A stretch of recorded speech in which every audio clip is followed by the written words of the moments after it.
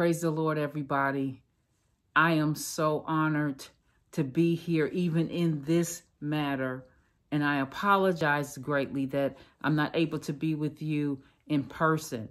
But I had to make sure that Apostle Kenneth Smith heard my voice and saw my face to wish him a wonderful, glorious, a happy, and a prosperous new, not just new year, but birthday and a decade of promise and glory.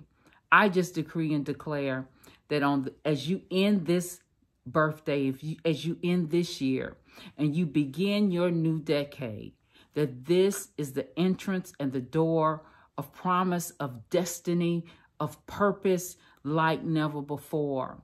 Man of God, I want you to know personally how much I love and appreciate you and honor you.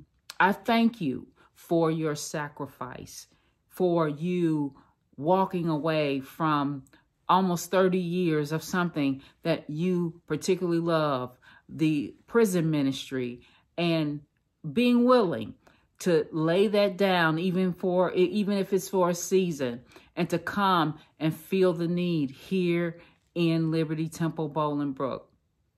Your help with you and your wife has been a tremendous sacrifice and a tremendous help to me because without you and your wife stepping in, I do not know what I would have done.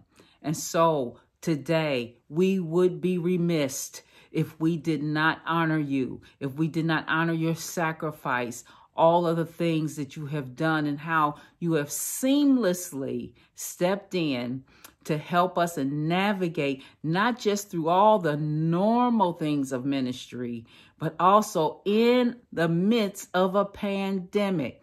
And so, for that, man of God, I am forever grateful.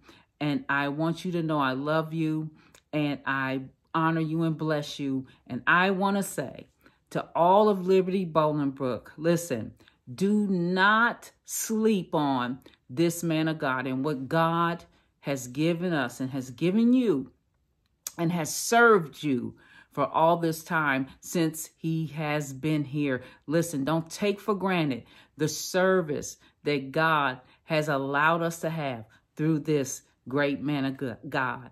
Happy birthday, Apostle Ken. Love you, and I look forward to talking with you soon.